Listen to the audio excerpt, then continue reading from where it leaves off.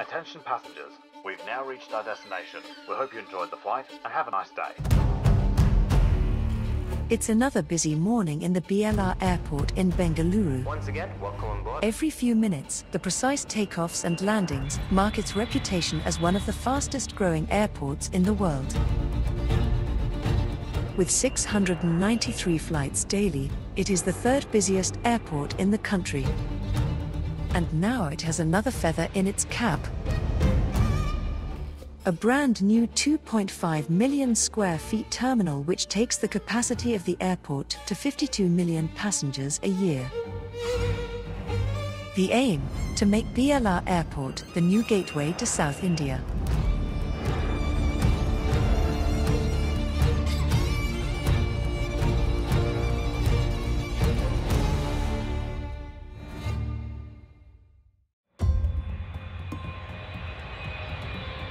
Bengaluru, the capital city of Karnataka in South India.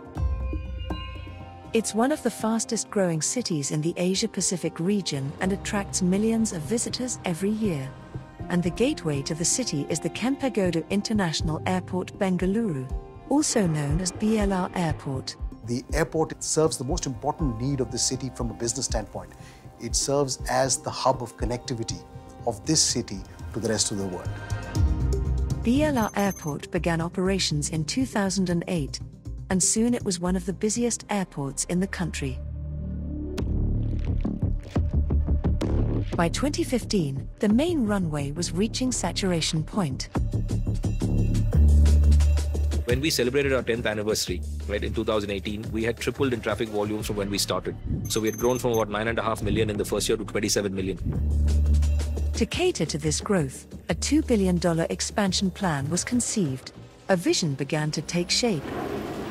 If you had picked up a single dimension to celebrate Bengaluru by defining the vision for Terminal 2, I think we would have not done justice to it. So therefore, uh, we decided to pick up four such dimensions, which eventually became the four pillars of the design of uh, Terminal 2. Terminal in a garden, technology, art, and sustainability. An army of experts from within the country and outside were brought in to build the new dream. Infrastructure veteran Tom Shimin was given the mammoth task of steering the project. I worked for many, many years for the Walt Disney Company. Surprisingly enough, airports and theme parks are very, very similar. Is that you don't see all the background that goes to make, you know, your experience. In 2018, the first step towards transforming the expansion from design and blueprint to action finally began. It's a scale of massive proportions across different facets. There is the terminal building, uh, which itself is a 2.5 million uh, square feet terminal. Then there is a new South Parallel runway, the runway is a 45 meter wide runway with 15 meter shoulders on both sides, but there's also a lot of other associated infrastructure. As the billion dollar project begins, the team braces for the slew of challenges ahead. The deadline is set for completion by March 2021, and the team must work at an unrelenting pace if they have to meet it. They need to put the first phase of construction in place before the rainy season arrives. Landscaping was going to be one of the key elements in giving Terminal 2 its unique structure. We've designed Terminal 2 around a core pillar of being a terminal in a garden environment. You have gardens inside terminals, but the fact that the terminal itself is nestled in, this, in the middle of a garden makes this very special.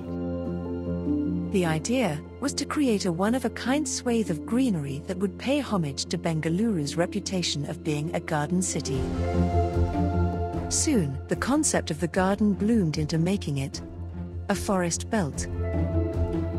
The forest belt is designed to be a lush sanctuary, spanning four acres, home to over 2,500 plants across nine mounds that recreate the rolling hills of the Western Ghats we decided to make sure that we adopt 180 rare, endangered, and threatened species of plants. We went out to various sacred forests, various ecological areas of India, handpicked plants that were actually on the threatened list, and brought them here with a guarantee that they will be given a safe haven for them to survive for the next few years.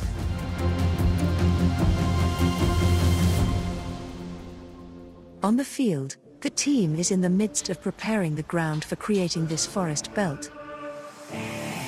These mounds, this type of configuration has never been done before in the world.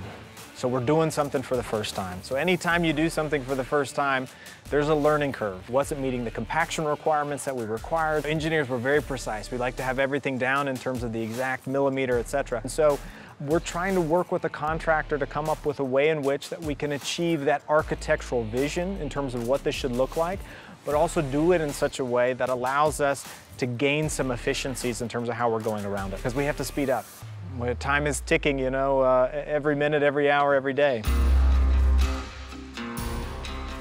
We're having approximately 800 trees that have to be moved and we store them in our nursery. The transporting of the trees themselves would be a gigantic task. Some of these trees are between 600 to 800 years old. In another part of the terminal, the team was bracing for another daunting challenge. The unique vision of architecturally making it a terminal in a garden includes the nature element being brought into the terminal building. Nearly 1,000 structural columns need to be erected before they can be camouflaged by bamboo. L&T, our big contractors, 75 years work in India, working around the globe, they say we're gonna do the 12 meter column in uh, three attempts. We look at it, no, you won't do that, you're gonna do in one. So what we did, we designed the tallest self formwork ever done by L&T, 12 meter self-supported. We developed special mix of the concrete, which is a self-compacted concrete, and on every column we gained six days. We had about 957 columns. Take the thousand by six, that's a 6,000 days. We did 12 columns a day, divide with it in about 100 days.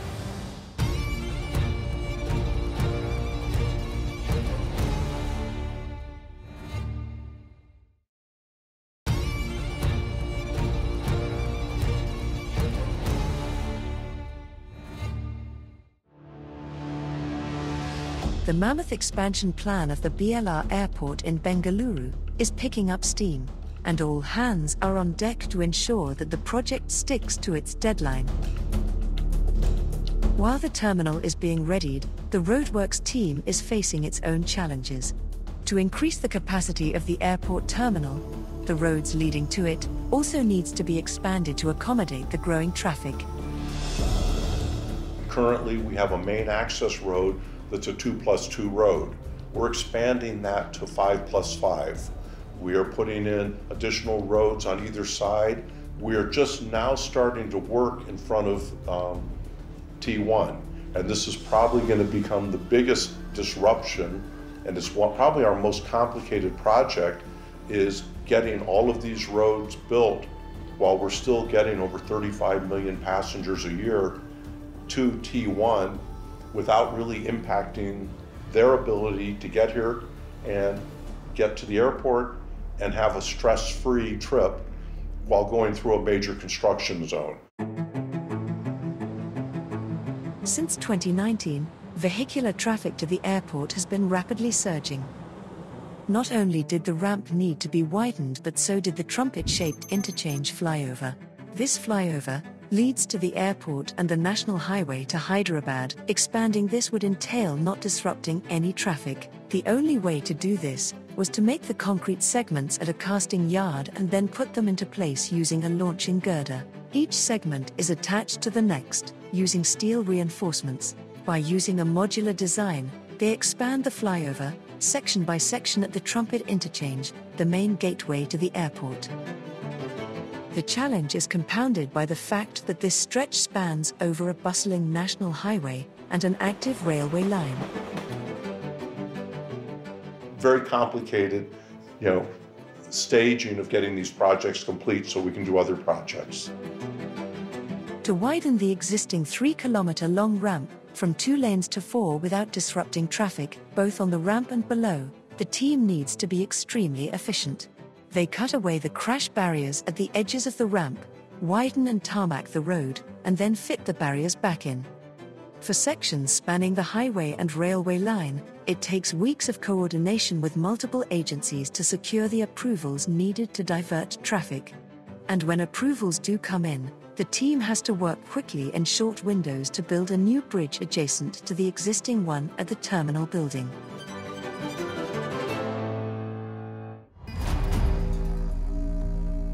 Even as work progresses on the new terminal, one of the early milestones would be the creation of the new runway. The brand new runway would make BLR Airport the first in South India to have a parallel runway system.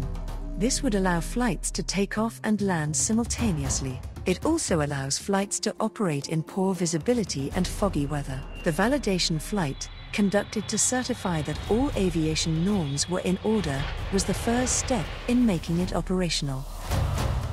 To see this happening it's, it's a big thing for the team to come together because they've been working on it. Um, it. I said it's a very tangible event to show that the project, you know, all your work has come together. A part of the sustainable design was to have a large skylight roof which would allow plenty of natural daylight to come through so that it reduces the overall energy requirements. But the roofing had some inherent challenges, we have a large roof system. It's a it's an absolutely phenomenal design in terms of the skylight elements within it. Um, but when you have that type of a roofing structure, uh, that type of a building footprint, it means that during the rains is a tremendous amount of water that needs to go someplace. And for us, we have to help control where that water goes. The worst thing that can happen to us is if we're not prepared for monsoon, water comes inside the building, we have parts of the building that potentially are damaged, reworked, etc. We have to get it out. So for us, it's focusing on how do we make sure we have all the supporting infrastructure in place in advance of when we get that first rainfall for monsoon.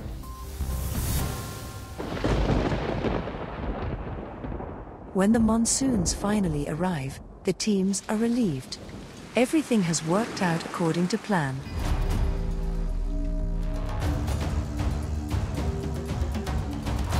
Everything seemed to be under control. Then, the unimaginable happened. The global pandemic hit.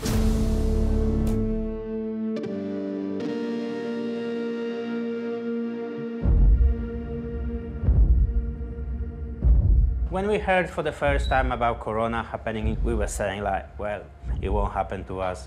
In the 21st of March, we received a government note that the all construction work will be suspended.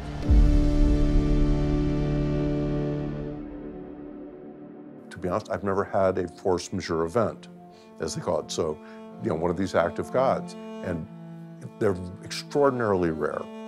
To have one of this magnitude is just you know, inconceivable. What made it worse were multiple waves of the pandemic which disrupted progress. Finally, after four months, the team was able to resume. The construction always, there's ups and downs. We're back to work now. Obviously, we're having uh, different timelines now because we've been out of basically work or daily activities for four to, four to five months. So yes, that's impacted us. What we did to create more days, everyone's saying in a week there is a seven days. Okay, that's true, but there's also seven nights. And we end up working from a 29th of September, seven days around the clock. Soon, the momentum is back again. The team is raring to go, and all the finishing touches are being put before the operations trials can start. The project are changing the direction. So it's coming from a very heavy construction works, more into finesse, finishes. The next five to six months are going to be exciting stressful, emotional, validating. The transformation and the activation that's going to be going on the next five to six months on this project is going to be incredible. And even every day as you walk out there, you start to see, uh, you know, the unfolding of the final finished product, and you start to see, you know, how everything's coming together and the beauty that this this airport and terminal really is going to have.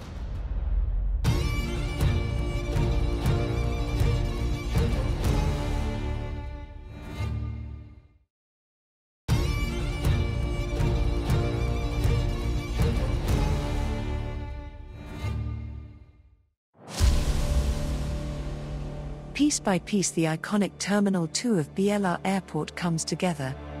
Like a well designed jigsaw puzzle. Even as the construction is reaching the finishing line, the operations team gets their act together. What we decided to do in um, for Terminal 2 is that we wanted to cut short the time uh, required for trials and transitions. So we decided that we'll work alongside with the construction. There are four major flows uh, that we look at in terms of airport operations.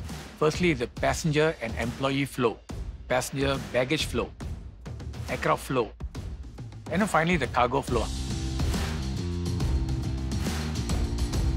So these are the four major flows, and all our systems, processes, technology, uh, operation procedures are all tailored around to make all these flows as efficient as possible. We brought in all the stakeholders to go through each and every trial, and we created scenarios. We had a total of about 300 scenarios, different scenarios. We could bring in passengers. We brought in what almost a thousand passengers over the course of uh, two months. We printed boarding passes. We gave them dummy bags to check in. The bags went through. We get them tags. They went all the way to the boarding gate and tried the boarding, and then came out to arrival. So we managed to go through our processes. We also realized that some of our planning and design stage uh, was based on certain assumptions. When you bring in live passengers, you realize that some assumptions are not correct. So we had to switch, we had to tweak, we had to change. All the pillars on which the terminal was designed are now becoming visible. And the end result is beginning to look awe inspiring. One of the pillars on which the aesthetics of the terminal was being designed was art, that airports are a crucible of emotions lent itself easily to the artistic vision of the terminal.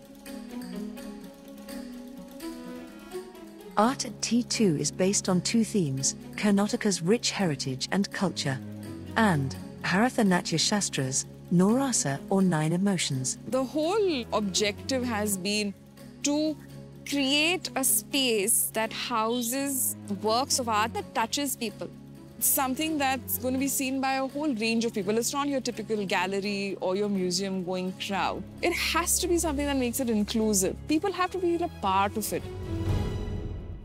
The terminal in a garden true to its name has become a living, breathing, biodiversity hotspot with 600,000 living plants in the terminal building. One of the most unique elements of BLR Airport are the, the bells and veils. The bell, inspired by South Indian temple bells and the veils inspired by onion baskets used in North Karnataka. Each, both an architectural and engineering wonder. These bells and veils have between 600 to 900 carefully made components. These massive beauties weigh between 1.5 tons to 6 tons, hanging from the ceiling and were a challenge themselves to install. We've chosen an audacious target of putting a ceiling full of plants how do you maintain them for the next 20 years? So we had to bring in technology here to ensure that these plants, these bells and veils can be uh, irrigated without a single drop of water falling on someone's head.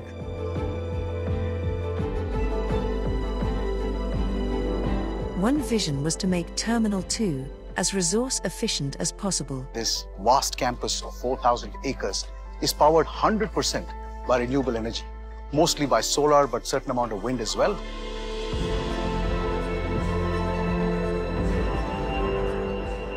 The invisible, all pervasive thread of the new terminal is technology. When BLR Airport opened in 2008, it was already the most technologically advanced airport in India. With T2, the vision was to make technology the driver of every aspect of the airport.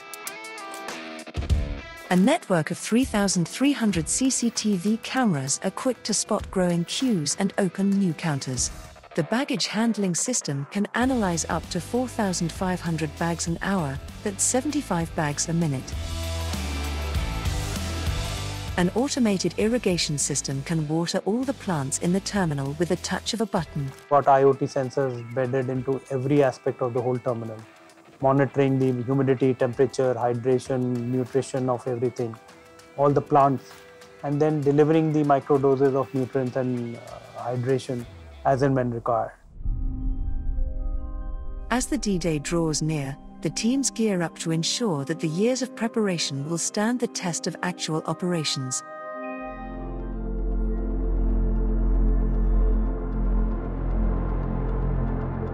The journey has come from a functional need of a traveler to an experiential need of the traveler. In the beginning, it was more of the functional need. You will have a duty free, we have some tea, coffee concept. But over the years, it has become more of an experience center. Passengers will love this terminal. There is so much to do in this terminal. This is one of those terminals where we say experiences like never before is what you can actually get here, which makes it a destination that you will want to explore. Once you're in, um, the sheer visual scale of this airport is quite uh, special.